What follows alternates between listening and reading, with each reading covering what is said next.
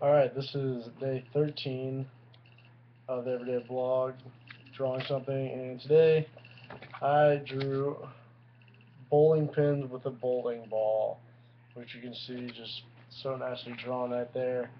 Uh, I chose to draw this because I went bowling over the weekend, I haven't been bowling in years, and it was a lot of fun actually. Bowled three games and I actually broke 100 twice, so that's great for me.